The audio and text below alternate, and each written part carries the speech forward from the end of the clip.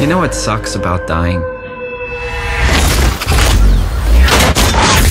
The crash.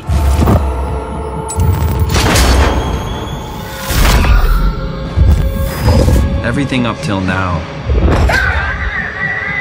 Brain damage. You guys, everything. Has made my life so much more real. I'd never been more excited to be alive. All that hope. Wasted.